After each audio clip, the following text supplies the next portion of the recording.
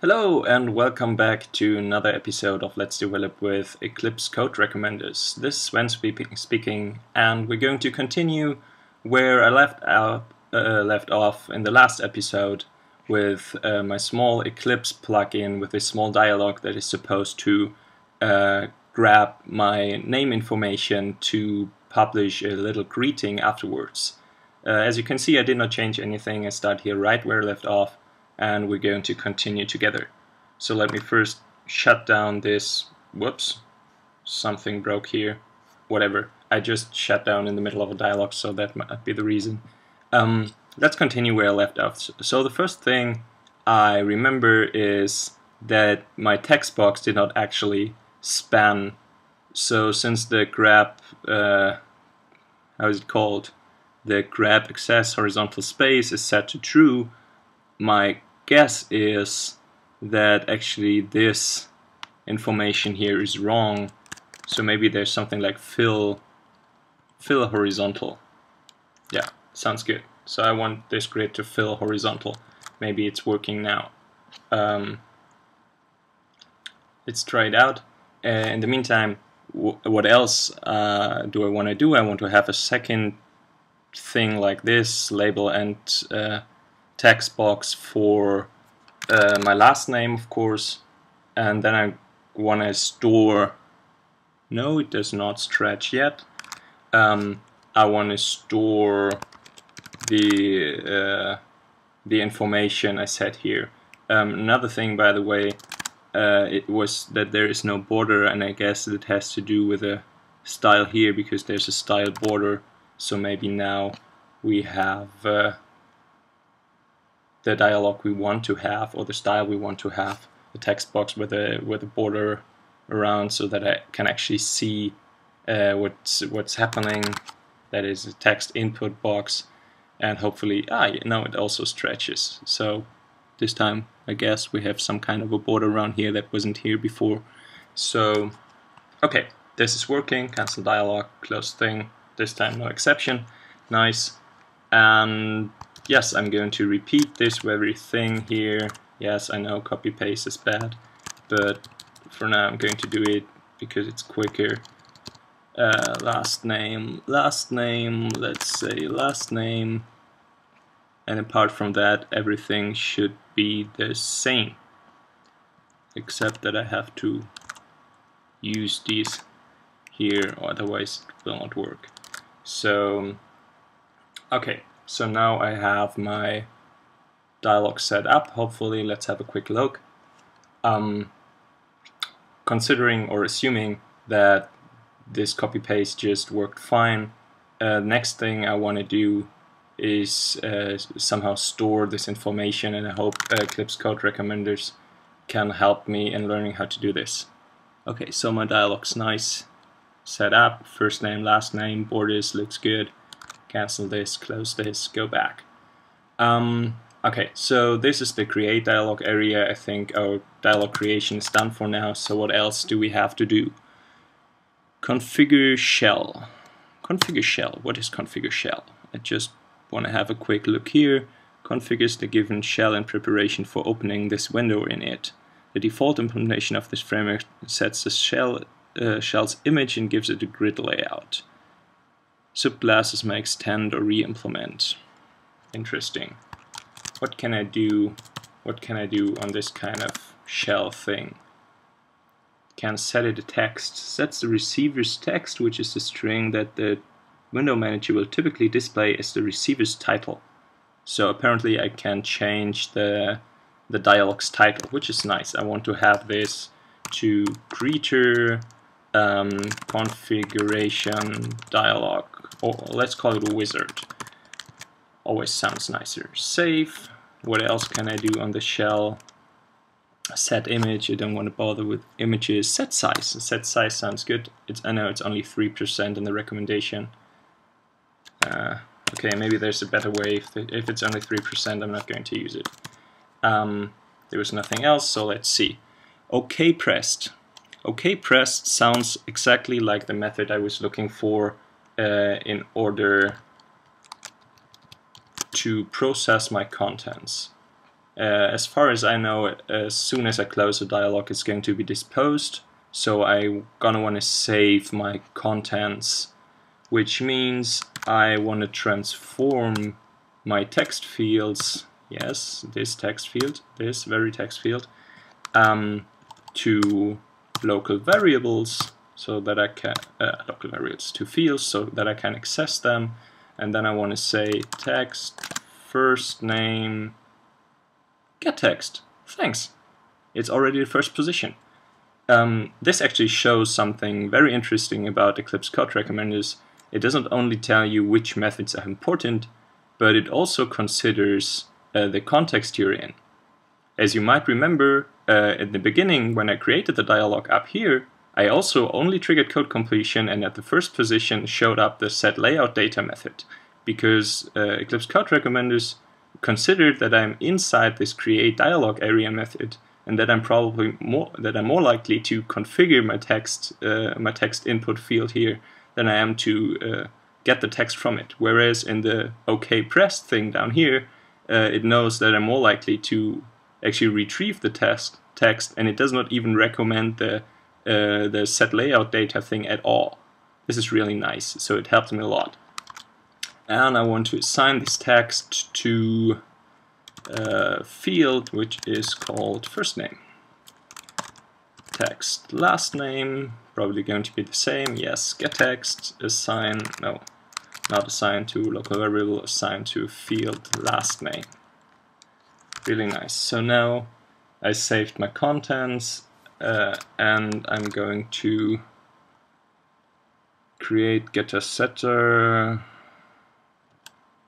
Yes, probably get first name, okay.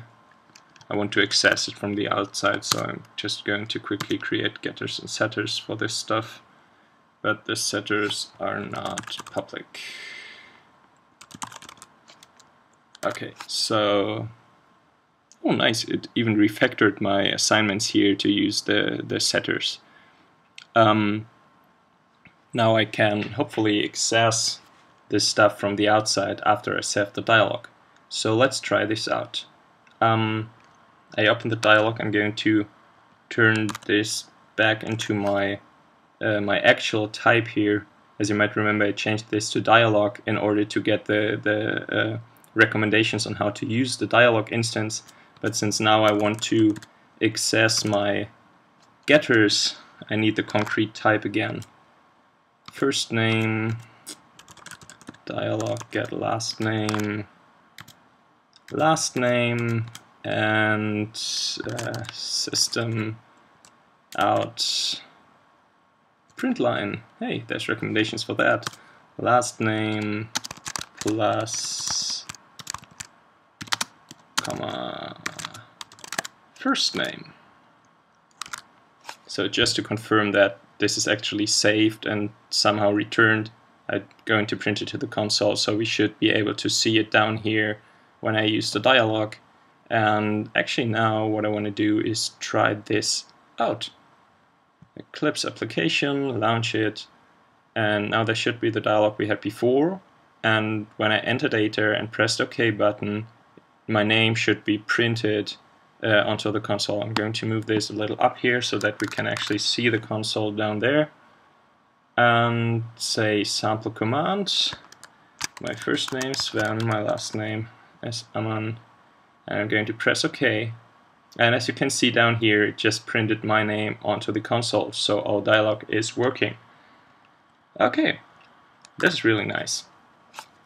Uh, one thing I just remembered what I wanted to do before is set the size, which I didn't do on the configure shell. So let's see what else. I, I, I spotted something that could be interesting, um, but let's go through the recommendations. So the create buttons for button bar, I don't want to create buttons for button bar for this simple dialog, so I'm going to leave this as is. I won't, don't want to create a button bar. I don't want to add a cancellation handler now. I don't want to override close, but get initial size sounds really interesting. So I want to actually um, return an initial size here. Okay, return initial size. This returns a point. Point, so let's just see point is probably pretty easy data structure. So we have x, let's say it is, that is width of 450 pixels and a height of 100 pixels. Hopefully this will be sufficient to um, fit in the, the two lines of content, but we will find that out. And with a little more width, it's uh, our dialog is able to display um, some longer names. Oh, apparently the height is not sufficient, but the width actually looks good. So I'm going to close this real quick and say, okay, um, height 250, retry. Um, yeah, I have the feeling that UI implementations some somehow always uh, involve some kind of fiddling around and uh, trying to get these things to work. Now it's a big, now it's too big actually, but at least we see that in generally it's working. Is this resizable by the way? No, it's not.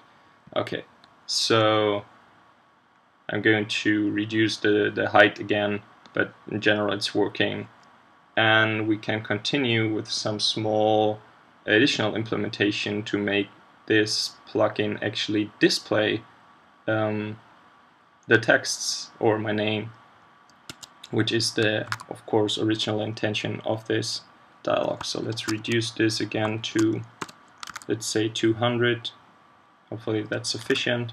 And let's quick, quickly create a second dialog um, that is able uh, but I cannot easily create a second dialog. I have to add a handler for the dialog and stuff, and I don't really want to do this in this episode because it involves some more uh, some more details about Eclipse plugin development and not so much about uh, the Eclipse code recommenders, which is my uh, original target for this episode. So I think I'm going to end this here.